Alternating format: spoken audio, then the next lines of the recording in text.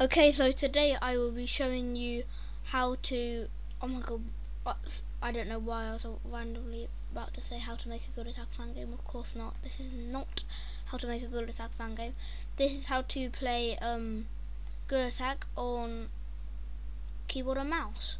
So what you need to do, open up um, Gorilla Tag. Um, before you do this, you have to have um, Unity Explorer installed onto Gorilla Tag, otherwise this won't work.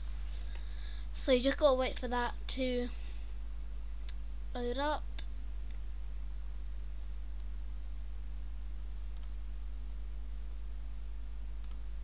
Uh, I don't know why it did that. Let me just try and play it again.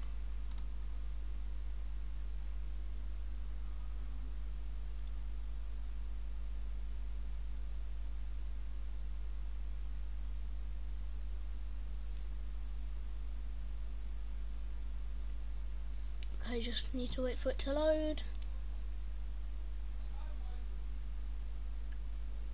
By the way, if you're wondering, yes, I am banned because um, some I was in a server called Mod, and then well, I was in the code called Mod, then some um, kid came in and started reporting everyone.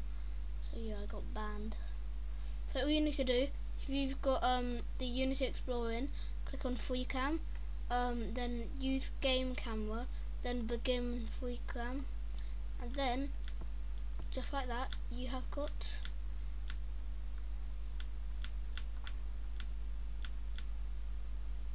you've got it. So yeah you can play Gorilla Tag with keyboard and mouse now. Um you can if you open the FreeCam section you can change the speed and stuff like I'm just gonna put it really high and then I got it that crazy literally basically out the skybox. Um, so yeah, also, if you want to just have a FreeCam, um, which is just a normal free cam, then, like, which is, isn't just the play, uh, just uncheck use game camera. So, hold on. Okay, ignore what I just said, that did not work. Um, so yeah, that is how you use Gorilla Tag with keyboard and mouse.